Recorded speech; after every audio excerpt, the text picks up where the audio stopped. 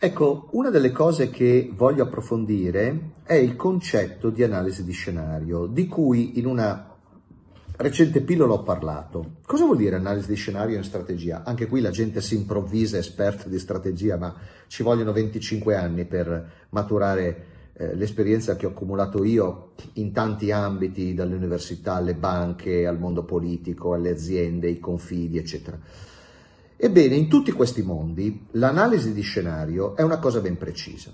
Bisogna prendere i tre fattori di rischio che ho spiegato nella precedente pillola, cioè i rischi esterni o esogeni, i rischi preventivabili o interni e i rischi strategici, che sono quelli che mettiamo nel piano strategico per l'appunto, e bisogna pesarli secondo due variabili.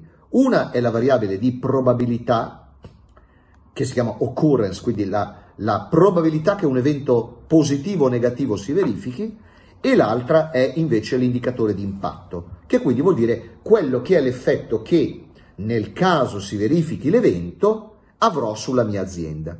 Dopodiché bisogna prendere l'elenco di tutti gli eventi che possono verificarsi per la, per la vostra azienda, positivi e o negativi, perché dico e o? Perché potrebbero avere entrambe le valenze.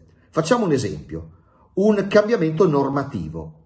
È una variabile tipicamente esogena, a meno che voi siate parlamentari, ma ve lo dico da ex parlamentare, anche se siete parlamentari è molto improbabile che dipenda da voi, cioè le forze in gioco sono veramente molto grandi. Quindi è molto difficile prevedere se andrà una norma in una direzione o nell'altra. Se ne può avere un'idea ragionevole, ma non c'è mai la certezza. Ebbene, lo stesso evento può essere positivo o negativo.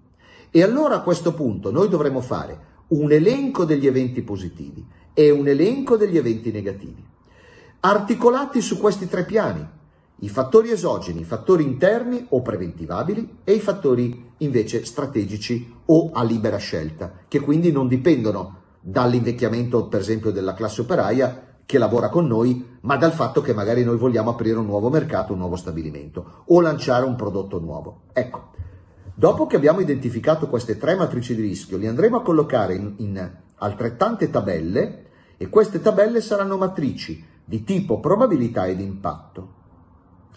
Dopodiché faremo delle riflessioni, ma queste riflessioni ve le farò nella prossima puntata. Vedete, io preferisco darvi poche informazioni, video brevi, concetti chiari, almeno spero, ma così mi dicono la maggior parte delle persone, e soprattutto vi voglio dire che queste cose si fanno tutti i giorni. Vedete, i miei detrattori sempre dicono ma quello è un professore, un teorico, un filosofo. Sì, sì, io li lascio parlare. Intanto io ho tre mesi di appuntamenti di imprenditori, ogni giorno uno diverso. Sto parlando con imprenditori di tutti i settori e tutti considerano questi esercizi, cioè gli analisi di scenario, delle cose fantastiche. Vanno alla lavagna, lavorano con me, ragionano con me, scrivono, discutono, si appassionano e definiscono veramente il futuro della propria azienda. Lasciate perdere le industrie 5.0, le aspettative, le leggi agevolate, mettetevi a fare quello che veramente conta, la strategia della vostra azienda. Vi aspetto.